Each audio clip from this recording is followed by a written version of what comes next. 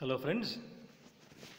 Welcome back to the second section on defining and non defining relative clauses of 10th class syllabus.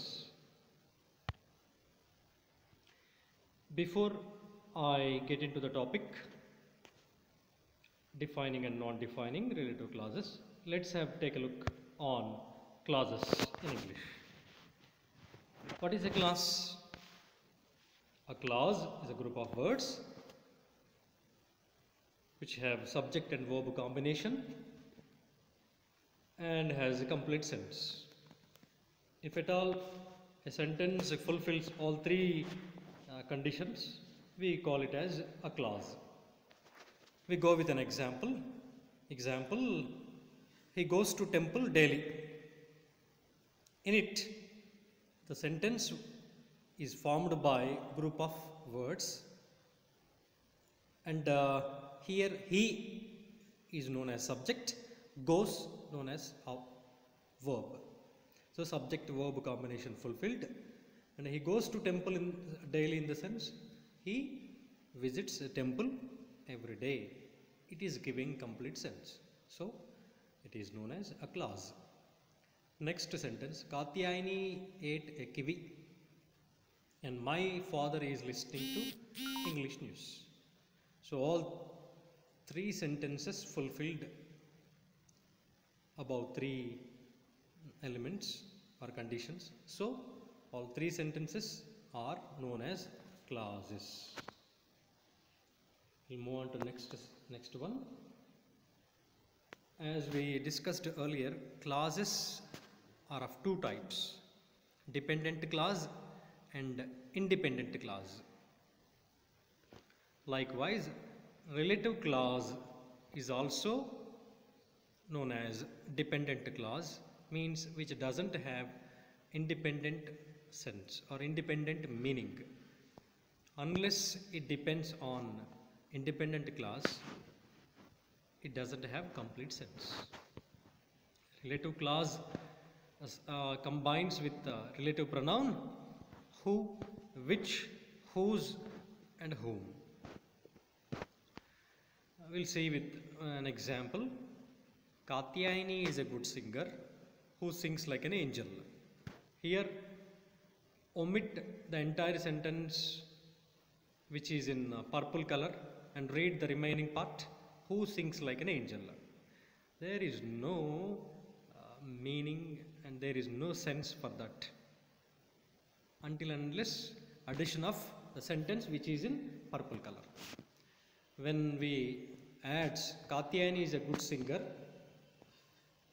then who sings like an angel has its meaning. Here who is said to be relative pronoun. Who sings like an angel is known as relative clause. A clause com is combination of relative pronoun. Next sentence, he bought a pen which is red in color. Which is red in color is of no use or uh, doesn't have its identity or meaning unless it depends on he bought a pen. Sorry. Now moving to the next one defining and non-defining relative clauses. Relative clause is of two kinds defining and non-defining relative clauses. We'll move on to example examples, ample of examples here. By the way, we can identify which one comes under defining and uh, which one comes under non-defining. First one, the minister who is campaigning in the city works hard. Second sentence, this minister who is campaigning in the city works hard. Here in two sentences, who is campaigning in the city is known as a relative clause. but the first sentence is known as defining relative clause and the second sentence is known as non-defining relative clause. Why? What made uh, the above sentence come under uh, de defining, the uh, next sentence come under non-defining, we'll see.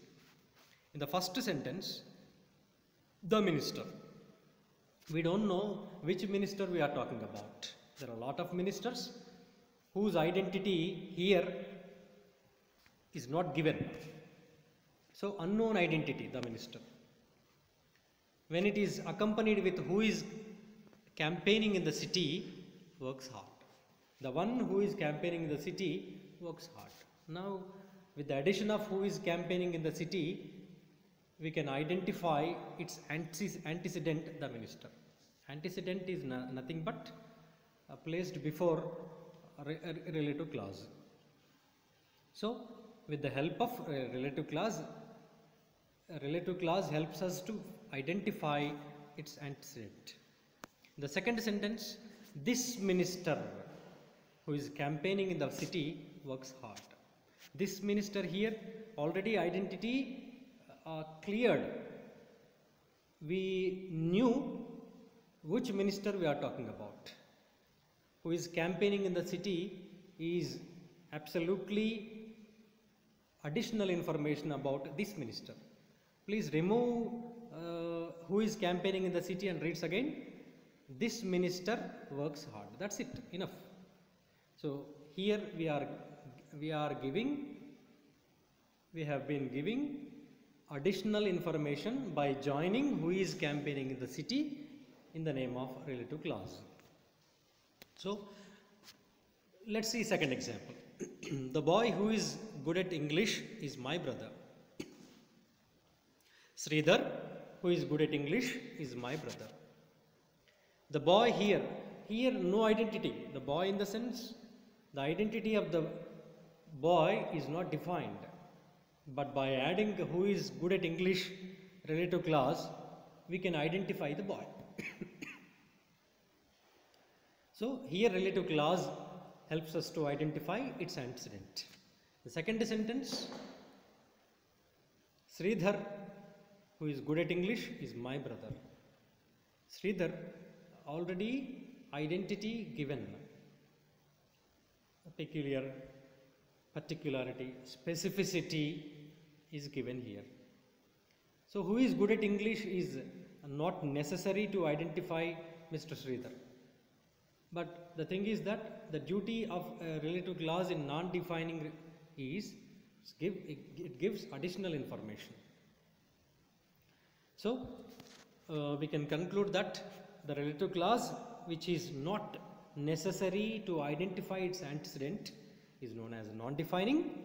A relative clause which is necessary to identify its antecedent is defining relative clauses. you can ask or you may ask, sir, is there any clue to identify non-defining relative clauses? I can say yes. By uh, given uh, phenomena, by given mm, clause, we can identify the sentence is in non-defining relative clause. The first one, let's move to first one. Katyayani he is playing. Katyayani who is playing is my daughter. Here Katyayani identity given. Who is playing is additional information. Remove the sentence, uh, uh, uh, remove who is playing here. Katyayani is my daughter. the second one, possessive adjectives. Possessive adjectives in English are my, our, your, his, her, etc. My father, who is a merchant, is honest. My father, identity already given. My father, who is a merchant, is additional information about my father. My father is honest enough. But redundancy, what redundancy is? Additional information uh, giving given by relative clauses, relative clause here. Sorry. The third one, demonstrative pronouns. This, that, these, those. These vegetables, which are rich in fiber, are good for health.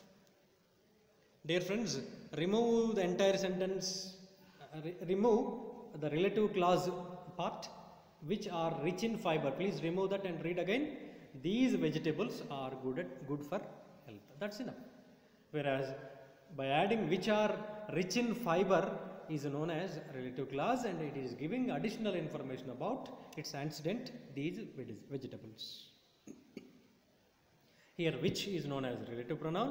In the above sentence who is known as relative pronoun and uh, who, who, whom, whose used for persons, which used for things. And last but not least, comma. comma kills a man. You would have uh, known, dear friends. A single comma can uh, save a life. My daughter, who is good at cooking, is here. My daughter, here we are clearing crystal clear identity given. Who is good at cooking is a redundancy, that is additional information about antecedent my, about my daughter is here. My daughter is here without who is good at cooking relative clause. That's all, fr- friends. What I can say, what I can conclude uh, is in non-defining relative clauses, a relative clause is not at all necessary to identify its antecedent. Whereas in defining relative clauses, its identity, uh, the presence of relative clause is very much essential. And, uh, thank you so much, dear friends, for your patient listening. Thank you.